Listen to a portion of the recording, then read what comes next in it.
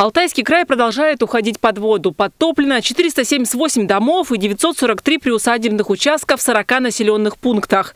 Такие цифры краевой МЧС озвучила сегодня днем. Из-за паводка в регионе продолжает действовать режим ЧС, который ввели 30 марта. Спасатели круглосуточно работают в зонах подтопления. Эвакуируют домашних животных, крупнорогатый скот и, конечно, людей. Сейчас в пунктах временного размещения находится 165 человек. На базе Главного управления МЧС России по Алтайскому краю функционирует постоянно действующий оперативный штаб.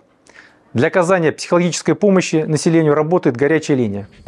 Психологическую помощь пострадавшие от паводка могут получить по телефону. Контакты на экране. Вопрос о мерах поддержки пострадавших от половодья сегодня рассматривали на оперативном совещании в правительстве края. Там анонсировали решение о выплатах людям.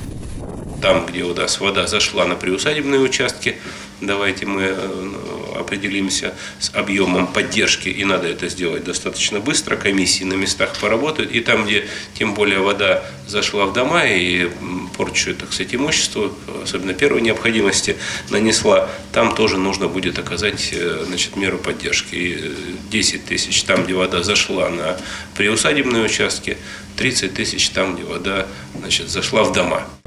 Из-за паводка пострадала и дорожная инфраструктура региона. По всему краю размыты и затоплены дороги. Сохраняются ограничения движения на девяти участках. В Михайловском, Завьяловском, Солонешинском, Волчихинском, Бурлинском, Новичихинском районах. Нет доступа к силу ракеты.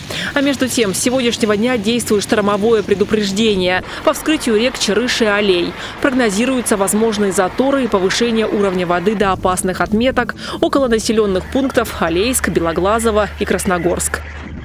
Валентина Аскерова. День с толком.